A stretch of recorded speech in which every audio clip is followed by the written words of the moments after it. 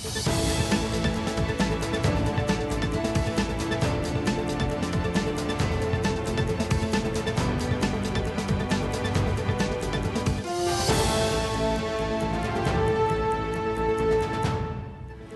Добро утро с новините в 9. Сегашното начало на третата вълна на коронавируса е очаквано и не е провокирано нито от тръгването на учениците на училище, нито от отварянето на големите търговски центрове. Причината е в по-лесното разпространение на британския щам, заяви държавният здравен инспектор Ангел Кунчев.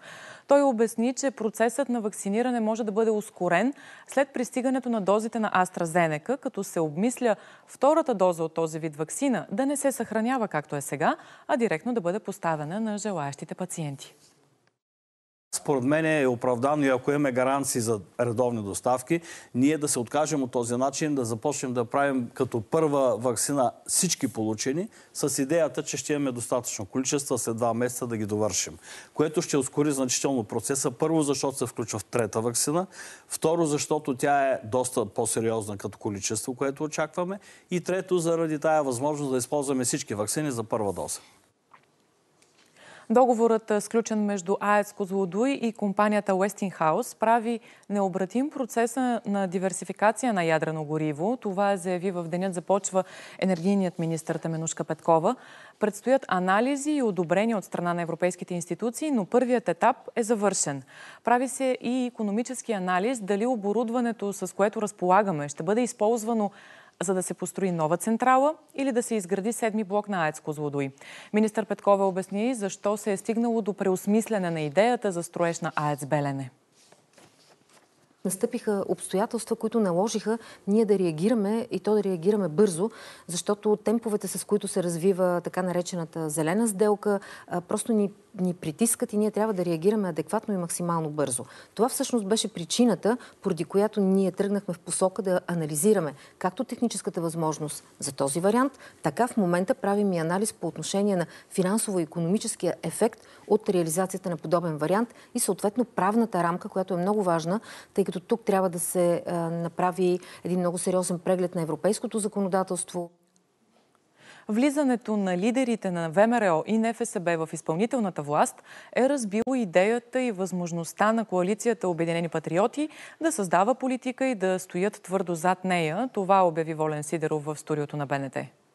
Станах неудобен първо на моите партньори, тъй като аз започнах да им посочвам, че не, не управляват правилно, не управляват в името на народа и на това, което, за което хората са не гласували.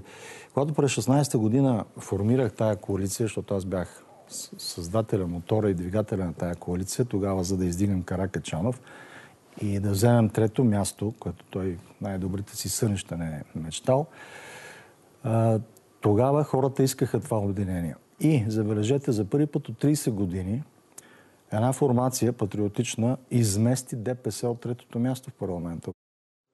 Случаят на Вални се очаква да бъде акцент на дипломатически разговори в Москва. На посещение там замина върховният представител на Европейският съюз по външна политика и сигурността Жозеп Борел. Не е планирана среща с руския президент Владимир Путин, но тази сутрин ще има разговор с министъра на външните работи Сергей Лавров.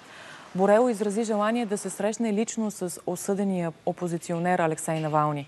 Според Жозеп Борел, присъдата му е неприемлива и политически мотивирана. Говорителят на Руското министерство на външните работи Мария Захарова определи и подобни изказвания като намеса във вътрешните работи на суверенна държава. Осъждането на Навални предизвика протести и масови арести в Русия. Говорителят на Кремъл Дмитрий Песков отрече да е имало репресии, а действия срещу нарушители на закона. Самият Навални призова в послание в Инстаграм своите привърженици да преодолеят страха и да освободят Русия от управляващите кръци. Удължават бедственото положение в село Димчево край Бургас у нас. Там все още се борят с последствията от наводненията. На помощ са се притекли и части от сухопътни войски, наводнени с стопански и земеделски земи. Все още е под вода и помпената станция на селото. Нивото на водата е спаднало с около метър, но ще е необходима поне една седмица, за да се отводни напълно района. Още новини може да намерите на нашия сайт bntnews.bg, на нашето мобилно приложение също така. Следва прогнозата за времето с Павлета Терзийска. Успешен ден!